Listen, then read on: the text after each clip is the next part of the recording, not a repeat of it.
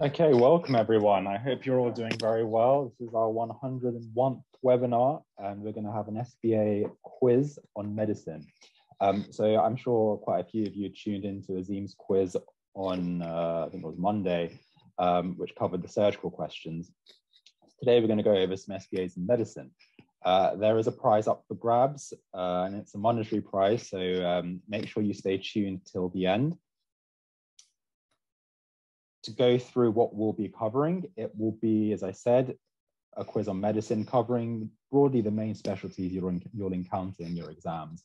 And um, initially we were aiming for a fair few questions, but for the purposes of time, uh, I've limited the quiz to 19 questions and you have 40 seconds per question. So we'll go through, we'll do a question, we'll have explanations after, and then we'll move on to the next question. You have 40 seconds per question, but for the final two questions, the faster you answer, the more points you will get. And I'll remind you of that when those questions pop up. But for the last two questions, the quicker you answer, the more points you score. All of these questions are derived from our previous webinars and our textbook. So if you have tuned in before or if you've had a look at our textbook, hopefully that puts you in good stead. Um, as always, the recordings will be on app.bitemedicine.com. And if you have any questions throughout, just drop them in the chat or in the Q&A function. Very good.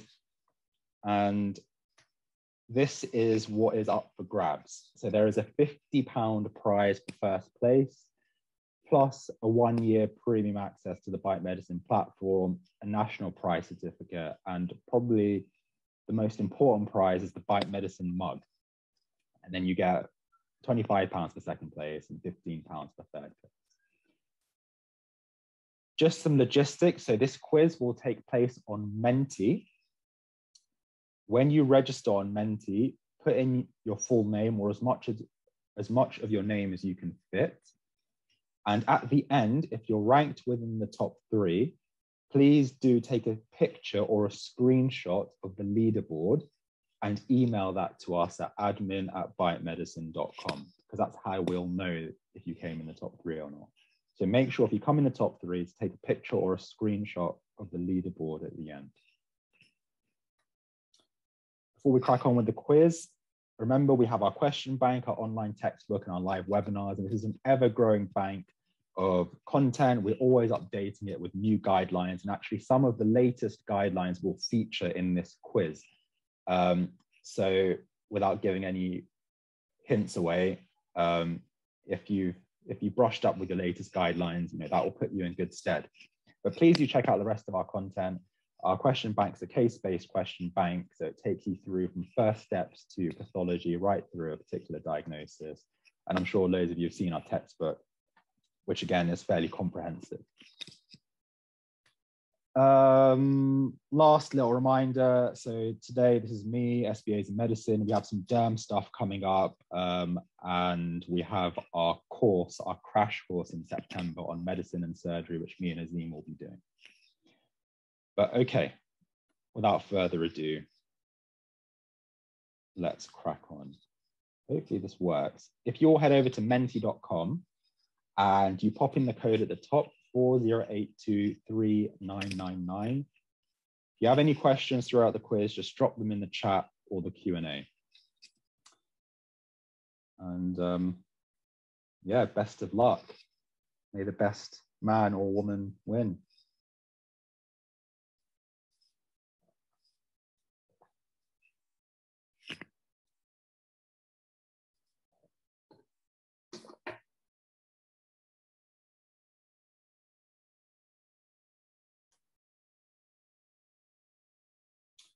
I'll just give you another 30 seconds to sign in. So for those of you who just joined us, it's menti.com.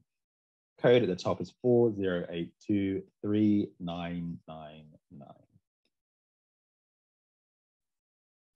Okay, let's get started.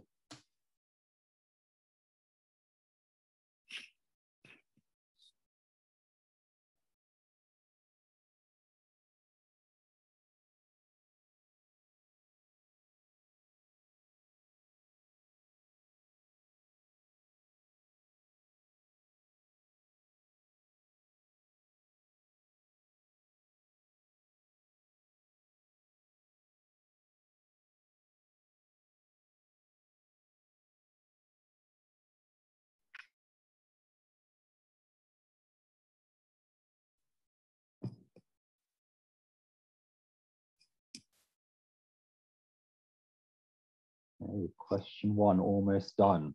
By the way, some of these questions are straightforward and some of them are really difficult. So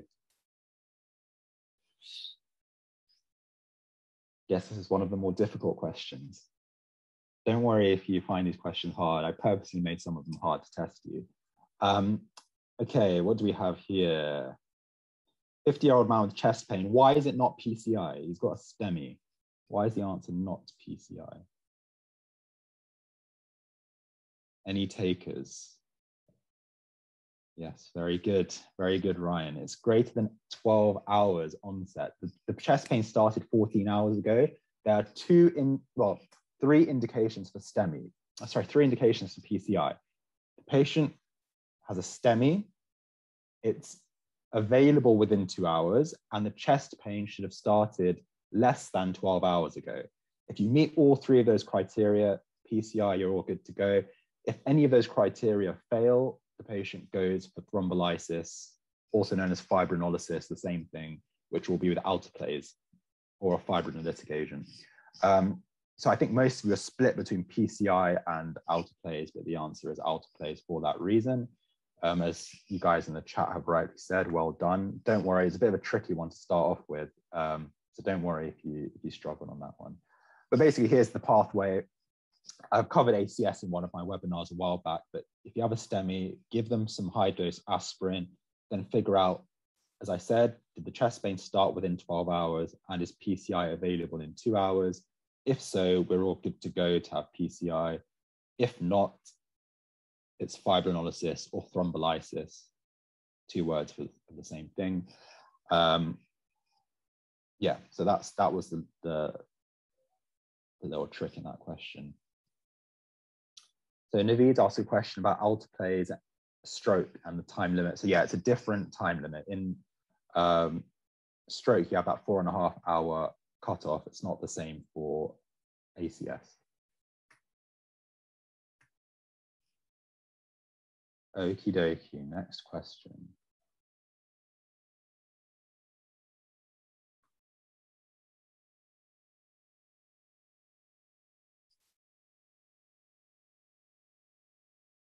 That working? No.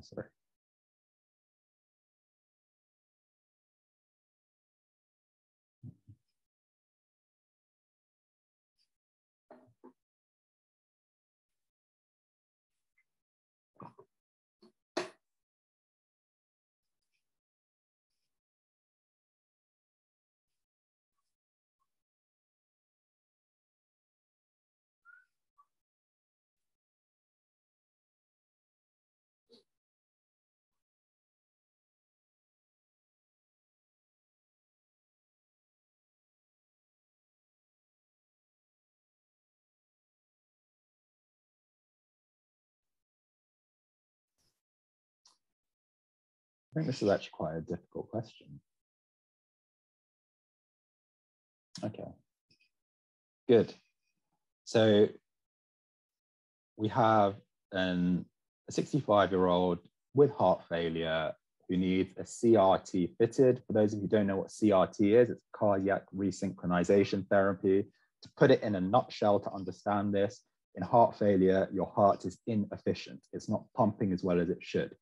Cardiac resynchronization therapy is a little device that you put in the chest and it makes both ventricles contract in synchrony, okay, hence resynchronization therapy.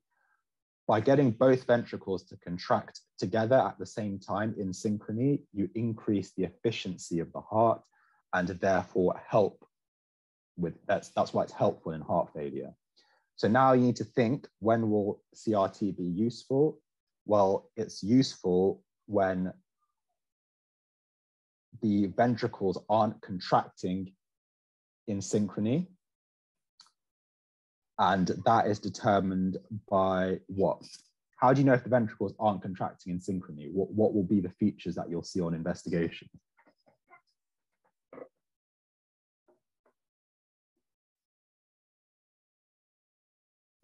So firstly, if the ventricles aren't contracting in synchrony, the heart is inefficient. So the most basic thing will be that the left ventricular ejection fraction will be down. Okay, the heart's not pumping properly. The ejection fraction is going to be down. And as some of you have rightly said, the QRS time will be prolonged. Okay, I'm not going to go into why that is uh, because it will just be a bit time consuming, but just take my word for it. And I've done a webinar on ECGs and why that's the case. Um, and the third thing is left bundle branch block. So indications for a CRT are reduced left ventricular ejection fraction of less than 35%, a long, a prolonged QRS complex time of over 120 milliseconds in general, and left bundle branch block. Good. Next question. Well done. Most of you got that right. That was quite a tricky one, I'd say.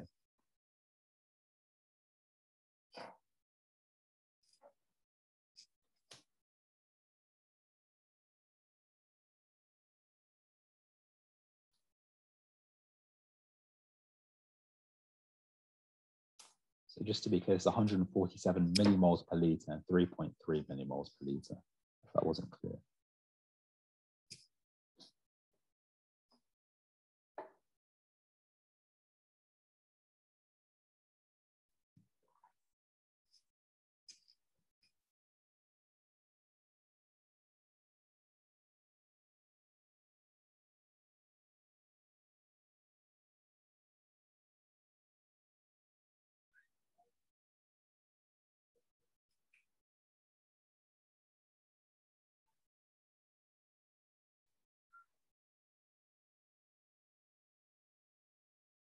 Very good. Okay, so that was.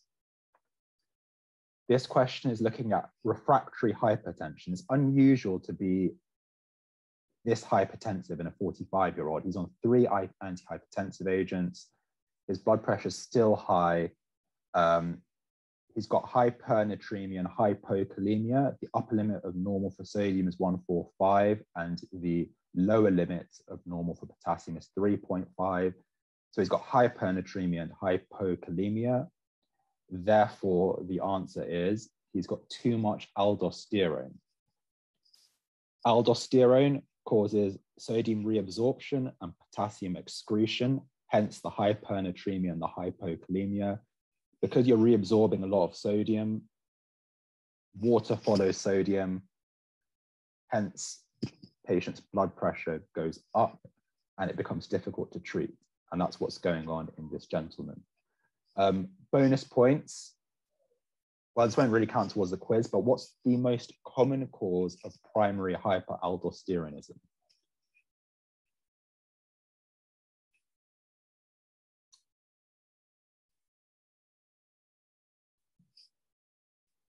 Are you sure it's hyperplasia or is it adenoma? We've got takers for hyperplasia. Good. Yeah, it's uh, adrenal gland hyperplasia. Very good. Very good. Um, well done. Next question.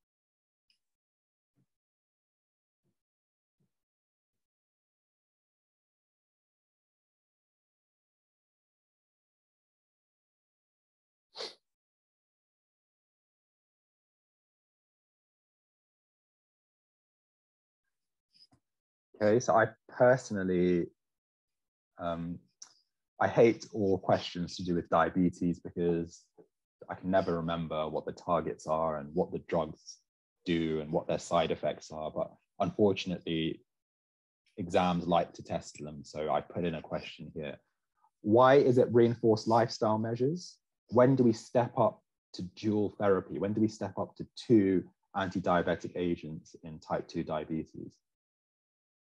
So the target is 48, but you step up at 58, okay? The target is 48. But as you guys have rightly said, you step up at 58 and I'll show you what that actually means. Because I, another thing I never really understood at medical school is what the difference was between a target and a stepping up, because it does, isn't that the same thing? Um, but here is the little flow chart. So diagnosis of, of diabetes happens when your HbA1c is greater than or equal to 48. So that's a diagnosis.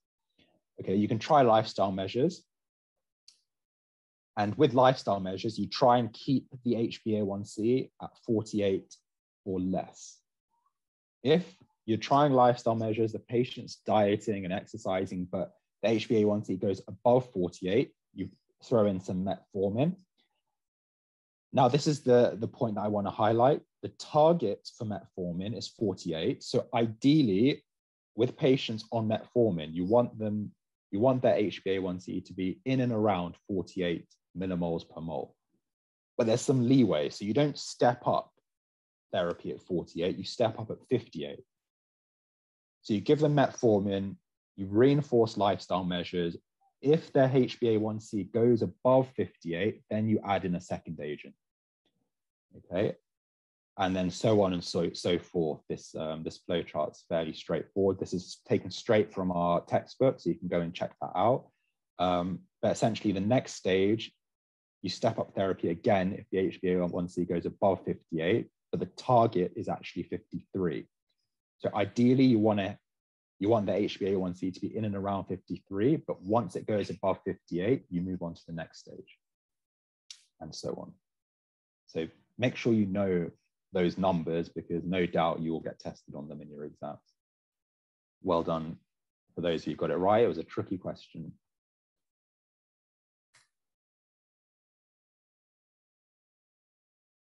Oh yeah, this, this one's quite tricky actually. There are some easier questions coming as well.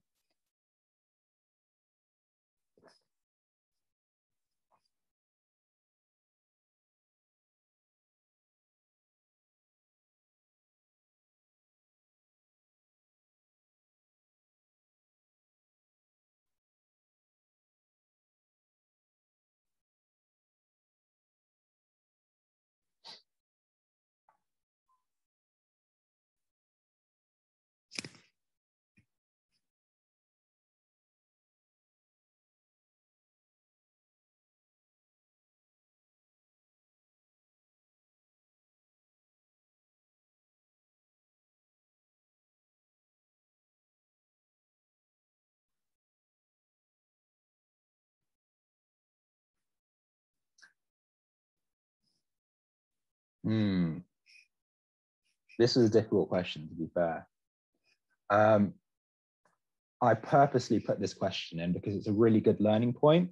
So, for those of you who uh, like to read the, you know, like to keep up to date with the, the latest guidelines and have happened to have read the joint uh, British Diabetes Association guidelines, which came out in, I think, April 2021, the management of diabetes, or DKA rather, has been updated.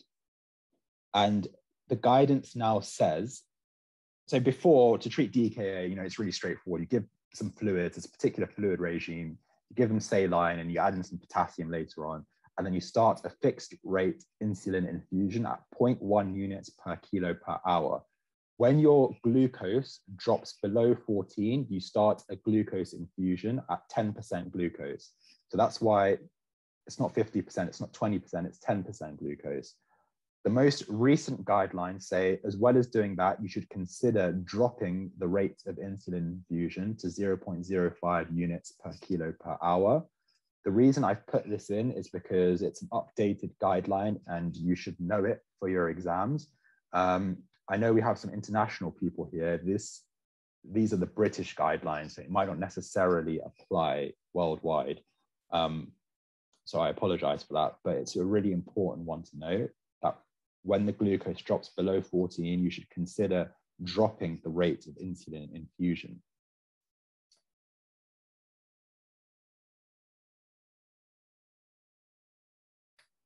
Okay, so again, it's 10% glucose. Um, that's essentially the answer. So that was a tricky one.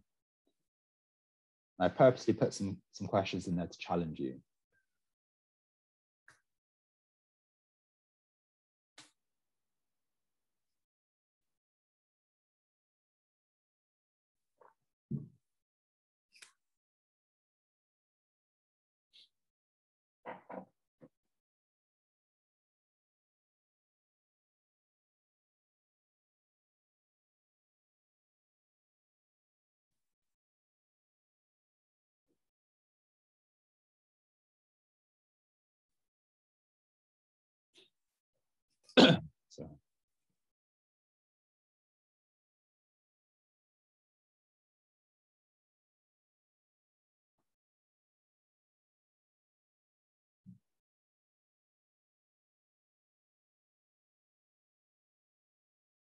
This is another tricky one. Oh, okay, very good. Well done. You guys have been keeping up to date with the most recent uh, anaphylaxis guidelines. So again, this is really important because actually this will affect you in real life in that you will see patients with anaphylaxis when you are doctors or physician associates or paramedics or you know whatever you might be, you, inevitably you will encounter a patient with anaphylaxis. And this is life-saving, okay? So to, you need to know the management of anaphylaxis inside out um, because you need to act quickly and what you do could potentially save the patient's life. Uh, the first, obviously, it's A, B, C, D, E approach, but adrenaline is the key in anaphylaxis.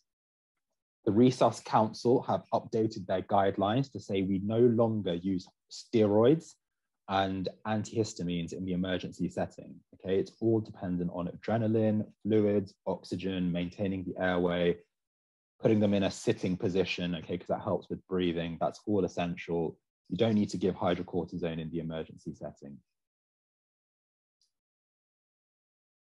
That's uh, so that's essentially the answers written out, but this is the guideline, okay? So A, B, C, D, E, obviously call for help, do all of that, but give adrenaline, that's absolutely key. Protect the airway, oxygen, give fluids, give adrenaline every five minutes as required. Um, and that's essentially the, the main points of anaphylaxis management. So let me just read out the guidelines here. It says the routine use of corticosteroids to treat anaphylaxis is not advised. Consider giving steroids after initial resuscitation for refractory reactions or ongoing asthma or shock. Steroids must not be given preferentially to adrenaline. Antihistamines are not recommended as part of the initial emergency treatment for anaphylaxis. Uh, antihistamines have no role in treating respiratory or cardiovascular symptoms of anaphylaxis. Okay, so they're pretty clear in their guidelines. Um, and someone's asked, why don't we give hydrocortisone anymore? Uh, probably because of how useful it is in the emergency setting. It takes some time to work. Uh, it doesn't necessarily reverse the airway breathing or circulation problems immediately, unlike adrenaline, which, you know, that's the most important thing that will terminate the anaphylactic reaction. Fluids will help um, with the circulation, whereas hydrocortisone doesn't necessarily have those immediate effects. That's, that's why I personally think they've changed the guidelines. And actually, the role of steroids in the emergency treatment of anaphylaxis, as well as antihistamines, has been debated. Um, okay. Doing very well.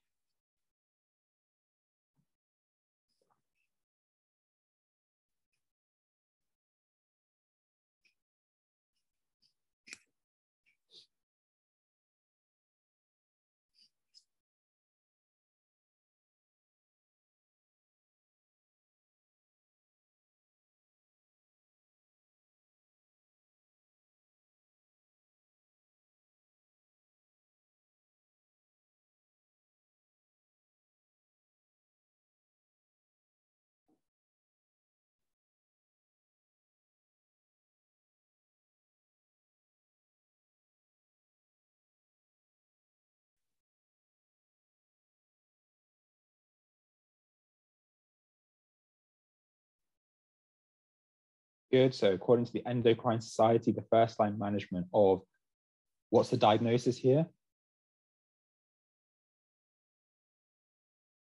Good. So it's acromegaly. Okay. The, the patient has an excess of growth hormone causing prominent facial features and spade like hands. Of course, you get tons of other features as well, like they'll be hypertensive, you may have headaches, um, you may have carpal tunnel syndrome. The first line investigation in acromegaly, according to the Endocrine Society, is IGF 1, insulin like growth factor 1, which will be raised. if you find the IGF-1 is raised, the next thing you do is an oral glucose tolerance test. Normally when you give patients glucose, um, their growth hormone goes down. When you have too much growth hormone in acromegaly, the growth hormone remains raised. Um, and then the final thing you'll do is a pituitary MRI. So that's not first line. Pituitary MRI is kind of like the last investigation you do, because um, then you can see the adenoma.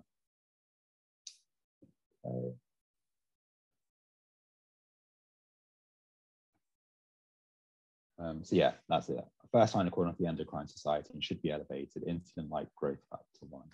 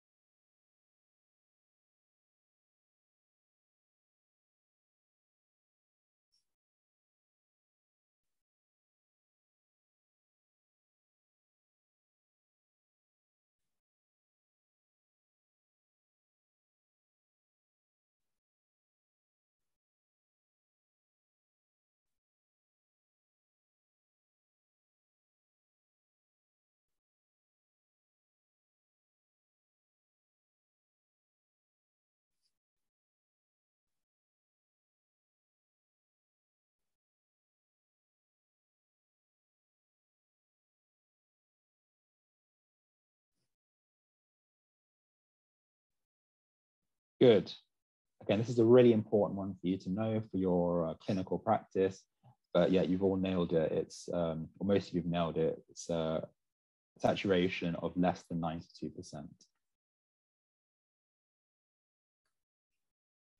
So peak flow of less than 33% is life-threatening. Above that, so uh, I think it's 33 to 50% is severe. Um, heart rate of at least 110 or more is considered severe. A respirator of 25 or more is considered severe. Inability to complete sentences in one breath is severe. Rather altered consciousness, respiratory exhaustion, and respiratory exhaustion, those are considered life-threatening. Re respiratory, um, sorry, saturations of less than 92%, that's a life-threatening feature.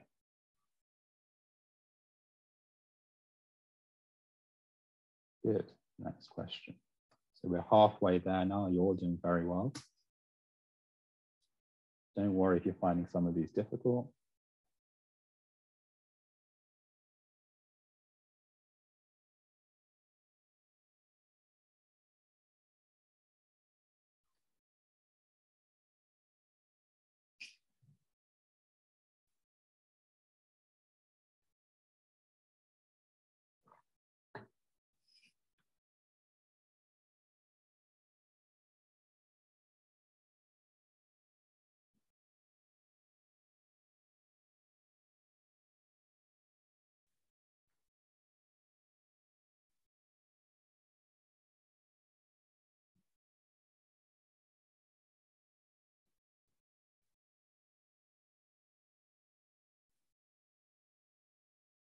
Okay, so I had to put a radiology question in there because I'm a radiologist, uh, and that is interstitial lung disease, fibrotic lung disease.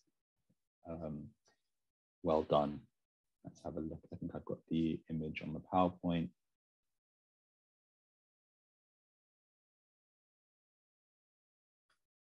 So yeah, this is classic of uh, interstitial lung disease. What's the diagnosis here? Just looking at this, um, just looking at this slice of the CT scan, can you know what the diagnosis is? So yeah, interstitial lung disease, pulmonary fibrosis is kind of the same thing, but do we know what the cause is?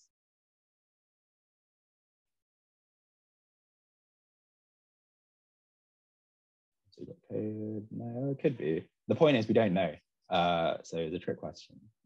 Uh, radiologically, you can say this is um, interstitial lung disease. You can give the pattern. There's different types of uh, interstitial lung disease which you might, might have come across, uh, like usual interstitial pneumonia. Uh, but basically, um, you can't say what the cause is just based off this one image. Um, the most common cause of interstitial lung disease is idiopathic pulmonary fibrosis.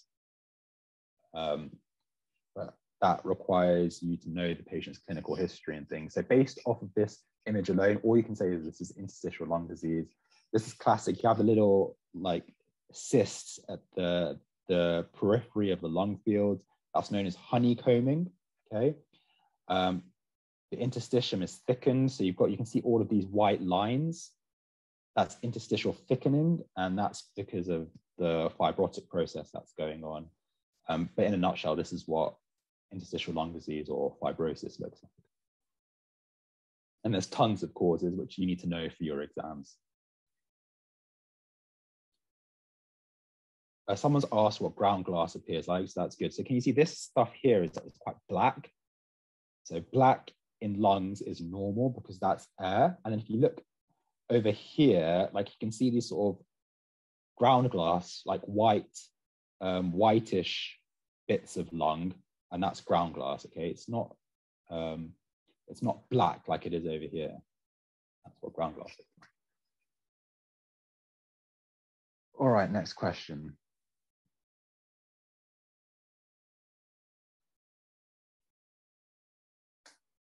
So we're over halfway now.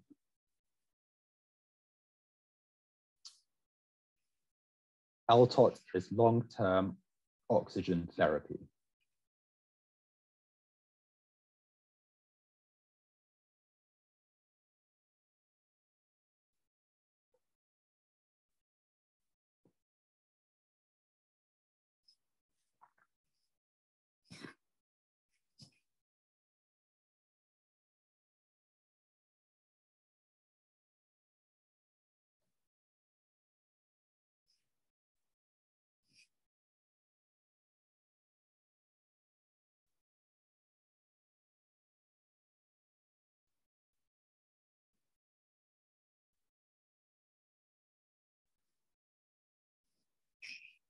Good. This is a really important one for you to know. I'm glad none of you put smoking. What happens if you give LTOT to a smoker? Yes, boom, very good. Uh, you don't want to basically, it's a fire hazard, isn't it? If you have an oxygen tank and the patient's smoking, they could blow up. So you don't want to do that. So smoking is, an, is a contraindication uh, to LTOT the indications are actually, this is just an excerpt from our textbook, but basically it's indicated if the PO2 is less than 7.3 or if the PO2 is between 7.3 and 8, and they have one of the following features of secondary polycythemia, peripheral edema, and pulmonary hypertension. Uh, so this patient had a PO2 of 7.8 and they had peripheral edema, so they meet the criteria for LTOT this is when you would consider assessing patients uh, for long-term oxygen therapy. And the way you assess them is you do an ABG uh, a couple of weeks apart on two separate occasions, and then you check that PO2.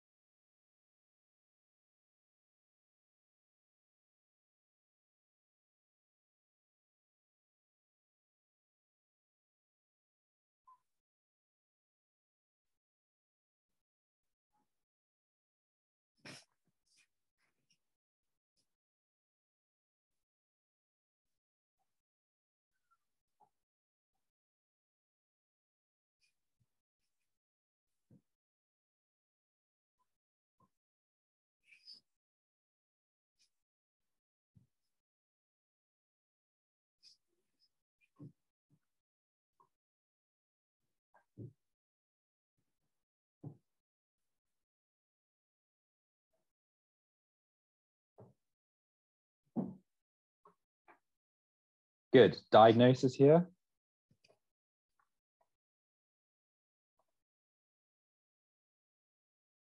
Bell's palsy, Bell's palsy, Bell's palsy. Uh, is it Bell's palsy?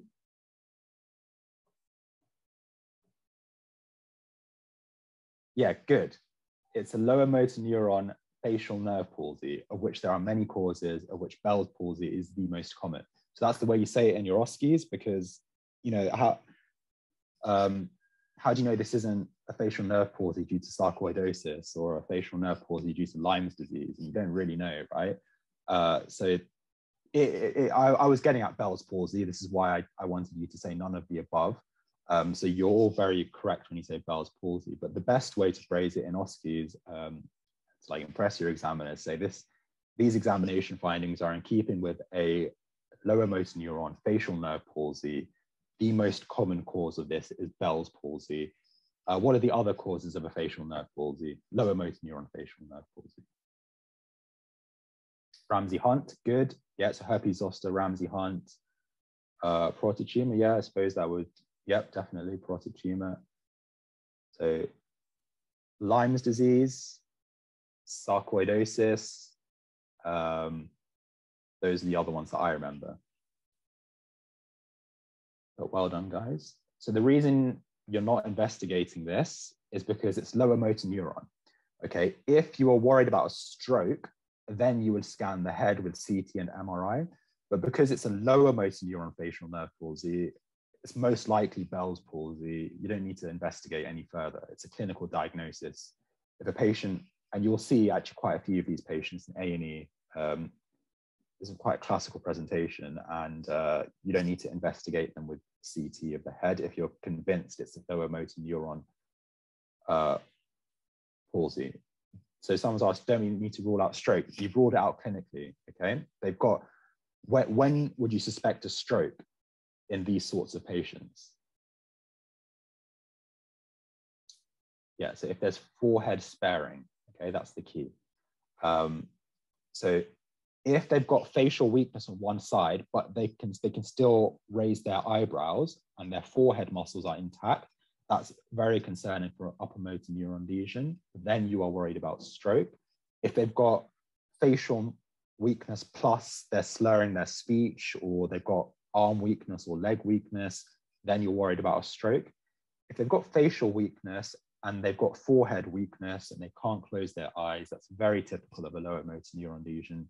You don't need to investigate them further, just follow them up and you can give them treatment for Bell's palsy, which is prednisolone if they present within a certain time frame.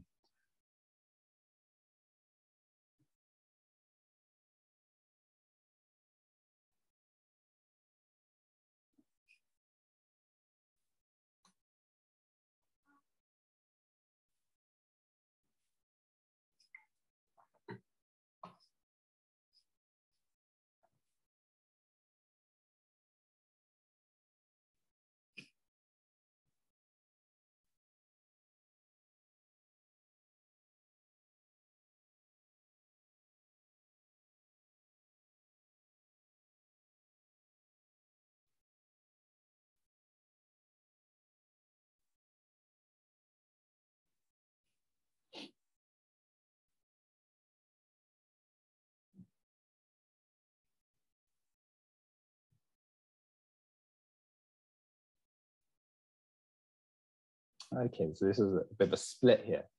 Uh, so why is it, so those, those of you don't know, MCA is middle cerebral artery and ACA is anterior cerebral artery. So off the bat, we know it's right-sided because the patient has left-sided symptoms. Obviously, everything in the brain happens on the other side.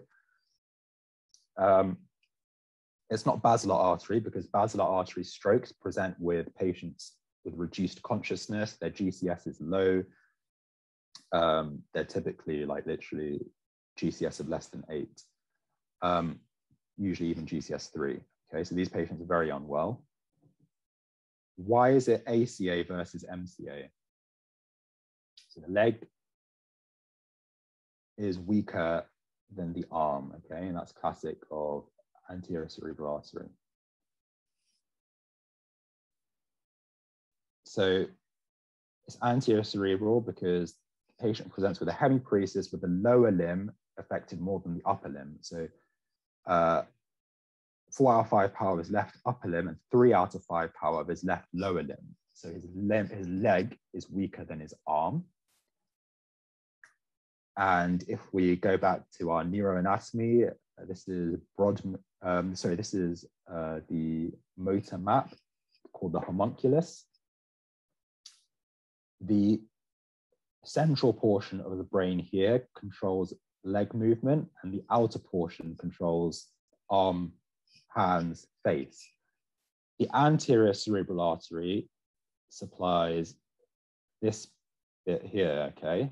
So it supplies this middle bit here. So if you lose your anterior cerebral artery, your leg is going to be weaker than your arm. The middle cerebral artery supplies this outer bit here. So if you lose your middle cerebral artery, your arm will be weaker than your leg. So just knowing a bit of neuroanatomy there, but well done.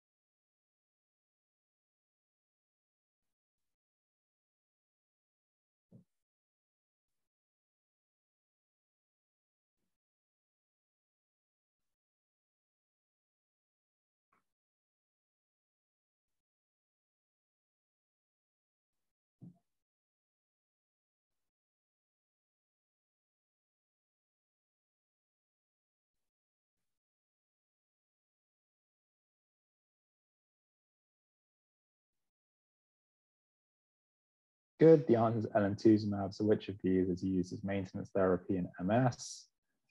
So methylpred is used in a flare. So when patient symptoms deteriorate, plasma exchange is used in a flare. Oxybutynin is used for symptomatic control of bladder problems, and baclofen is used for symptomatic control of spasticity. Alemtuzumab is a monoclonal antibody and it's used in um, maintenance therapy so long-term therapy essentially. Um, other examples include other examples of maintenance therapy include beta interferon, glatiramer acetate.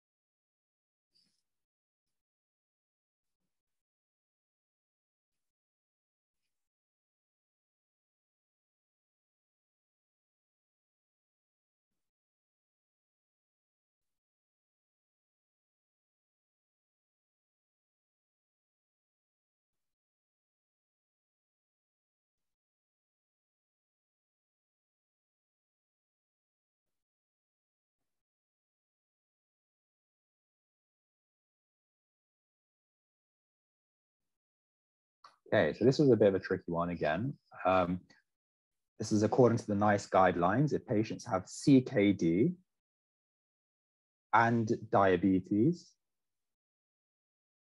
their target blood pressure is 130 over 80, okay? So my question to you is, if I have a patient with CKD and diabetes and their blood pressure is normal, should you start them on anything? Yeah, good. So you start them on an ACE inhibitor. Okay, so CKD plus diabetes, doesn't matter what the blood pressure is, you always start them on an ACE inhibitor, so doesn't matter, ramipril, uh, and that's because it's renoprotective, okay? Um, good, yeah, and it helps with the proteinuria. But essentially, if someone's got CKD and diabetes, their target blood pressure is 130 over 80. This is different to the, you know, the demographic who don't have that combination of diseases, where the target is 140 over 90. So this is your normal target here. But for patients with CKD and diabetes, you aim for 130 over 80. And to make things even a bit more confusing, 135 over 85, that's the diagnostic threshold to diagnose hypertension if you give someone an ambulatory blood pressure monitor or a home blood pressure monitor. Hopefully that's all high yield. Good. Next question.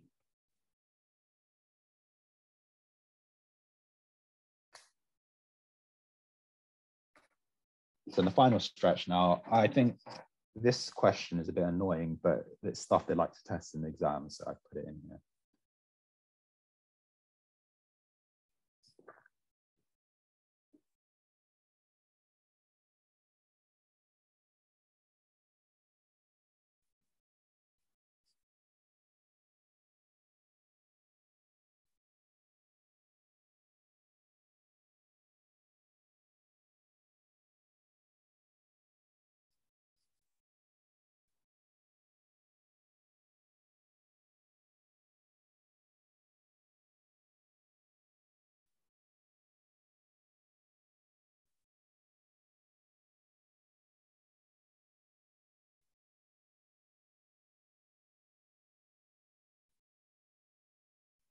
Okay, so I yeah, I, I, always think these questions are really annoying because I can never remember. Is it two months? Is it two weeks? Is it three months? Is it is it different for chlamydia? Is it different for gonorrhea?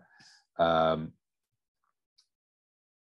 but here is a table taken from our textbook, and uh, essentially, if the you need to think about things in these two sort of categories. So gonorrhea and chlamydia, you notify people slightly differently. Um, and you need to think, okay, is it a male with symptomatic urethritis or is it something else? In this case, it was a. Um, I think the question was, it was a man with symptomatic urethritis and he had gonorrhea, so you notify all sexual partners within the last two weeks.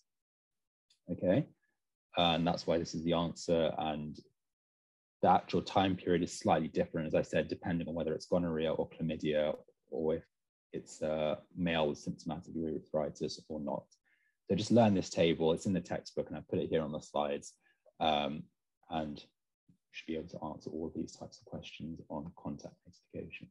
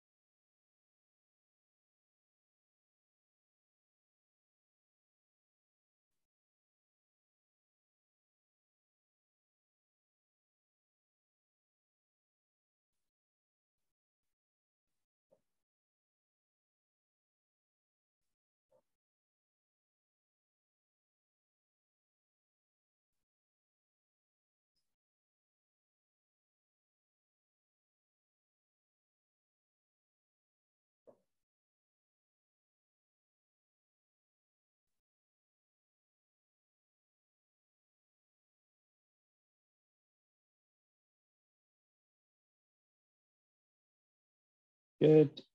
So the most common um, crystal arthropathy, arthropathy affecting the great toe is gout, as I'm sure you, you guys know. Gout presents with a swollen big toe or first metatarsal phalangeal joint. When you aspirate the joint and you look under polarized microscopy, you will see needle-shaped crystals with negative birefringence.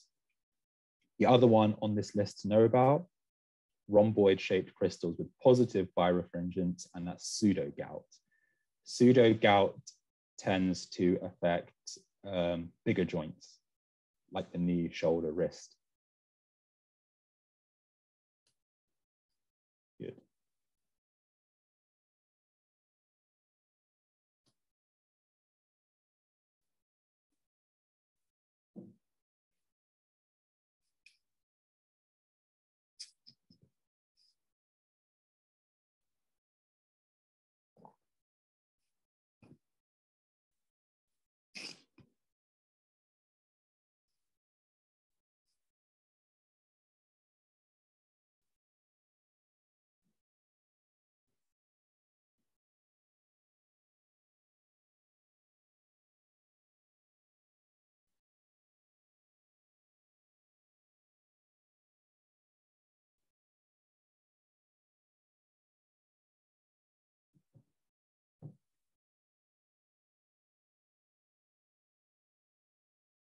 So which of the following is not a notifiable disease?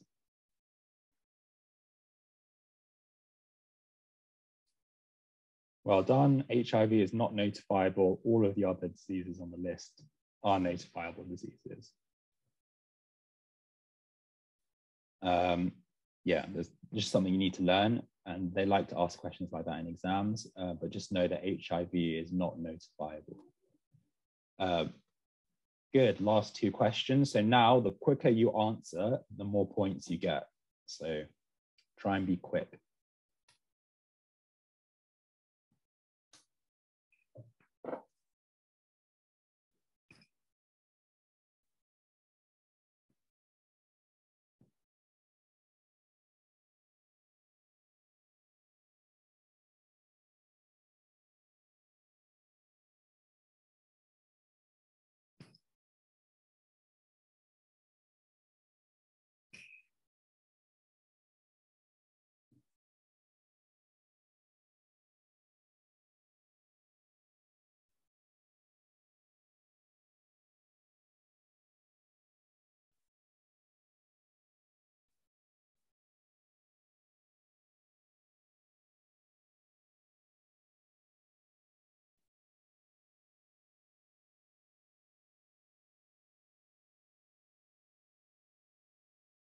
Good.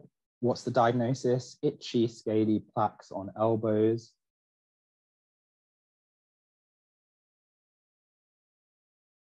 Psoriasis, very good. Um, first line management is with emollients and topical steroids and topical vitamin D. You give both of these things for a period of four weeks.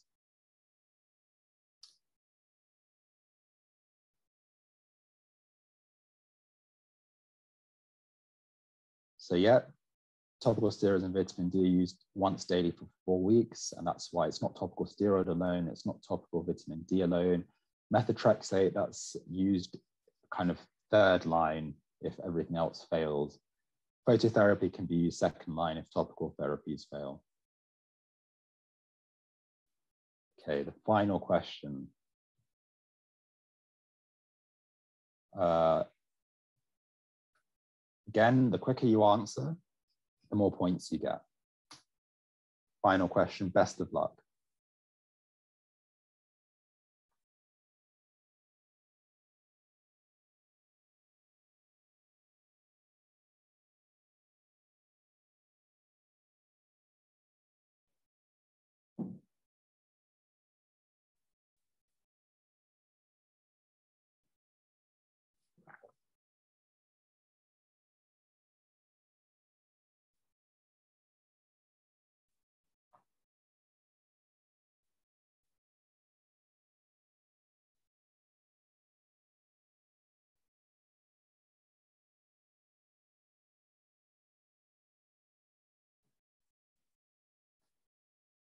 So this is the moment of truth.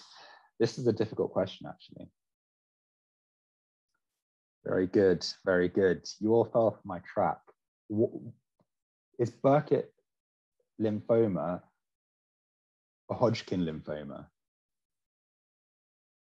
It's a non-Hodgkin lymphoma, okay? There are four, there are a few types of Hodgkin lymphoma. The most common is nodular sclerosis, okay? Um, the less common ones are lymphocyte rich, nodular lymphocyte predominant, and mixed cellularity.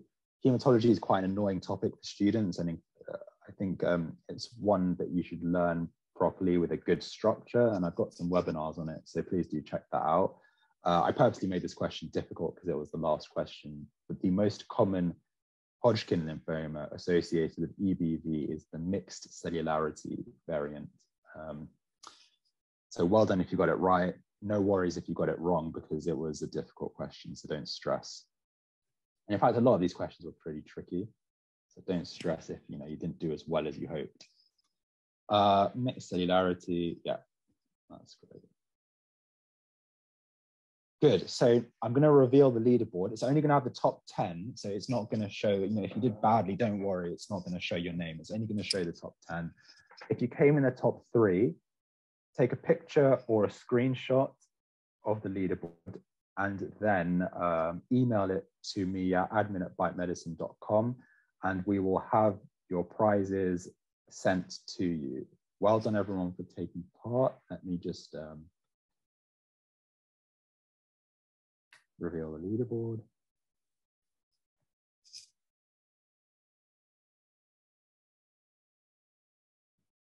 Okay, and there we have it.